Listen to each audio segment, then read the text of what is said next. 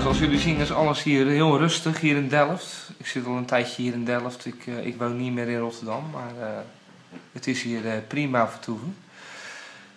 ja jongens, 20 jaar, dat is wel een hele tijd hè. En toen was ik een jaar of 12 en toen had ik het nog niet eens in de gaten wat er allemaal om me heen gebeurde eigenlijk.